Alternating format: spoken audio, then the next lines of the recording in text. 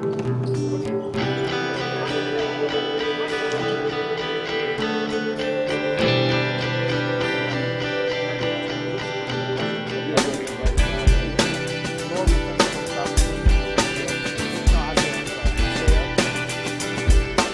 real serious out there.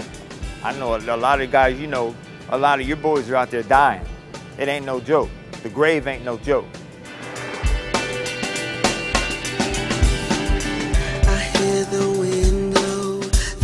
It's your voice I heard. I feel the raindrops are falling, I see the tears you shed. My mind is constantly thinking of how I miss touch. My name is Joel Delgado. I've been here for about two years already. This program has really helped me through a lot. Home, out the streets, basketball. Taught me how to be a better player, better person. Helped me be a better uh, man at home. I help my parents around the house now. Less disrespect at home. Working, helping my mother pay bills. This program just built me to be a better person and a better man. The director, he came to me asking that I, that I want to come and join this program, and I, I seen him at, uh, at the Boys and Girls Club because I worked there, and he, he told me about the program and what it's worth. It's a great combination. Like, I like learning about new stuff, and basketball is the thing I do on the side, but it helps me on just communicating with each other. Because really, I love doing both things, learning, playing, but I just want to become a great player and just have a great future. And it's a long way to go now. I just gotta stick with the, and there might be bad sides, bad, bad places and good places. I'm trying to take the good path. Met Gerald Jarman a few years ago, and um, he got to uh, talking to me about Three Star Program.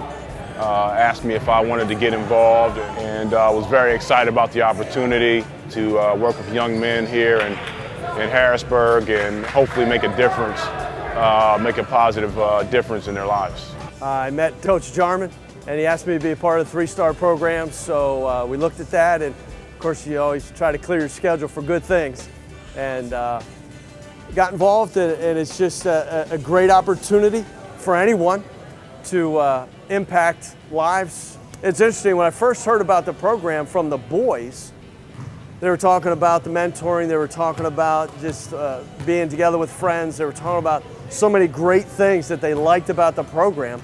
And it actually took a while before they said, oh, and by the way, we play basketball. As we begin the mentoring sessions, it's great to see uh, just their development. It's great to be able to develop great relationships uh, with these young men and just see them grow and prosper. A lot of things in the streets. This will help y'all out. Can you tell them about it when you see I I got a lot of people a lot of people that are here I got into it so I hope they learn something from here the way same way I did last year. you see any changes in them? So far, yeah, a lot. Lots getting jobs, stopping a lot of things, becoming better people in here, better friends. It's helping a lot. Yeah, I'll be here next year. He got accepted to Duquesne and Bloomsburg, Bloomsburg on a full academic scholarship. Lord, we thank you for this opportunity for Isaiah, that you meet his heart's desire. Um, tonight, we thank you for this young man. We thank you for this, this highlight.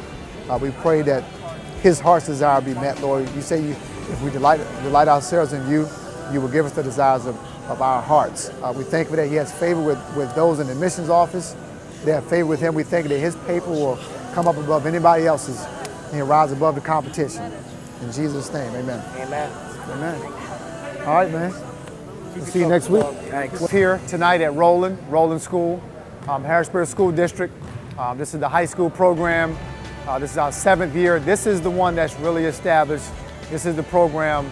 Um, this is kind of like the, the mother of them all. 65 guys from the Harrisburg School District, teenagers, guys, you know, want to come out and play basketball and learn about life. I don't know too many places in the city where you can go and get this many guys in one location, one place, from different areas in the city, uptown, uh, from the hill, um, from out the south, all in one melting pot.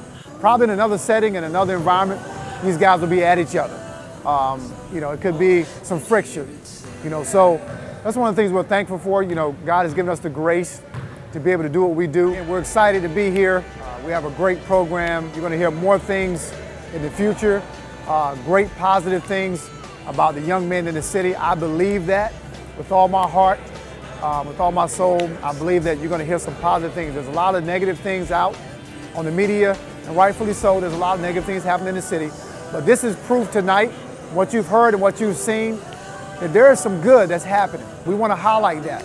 You know, it's a breath of fresh air to see and hear some of the testimonies, some of the positive reports we're getting, and you've seen it for yourself. So the best is yet to come, and I look forward to talking to you again sometime soon.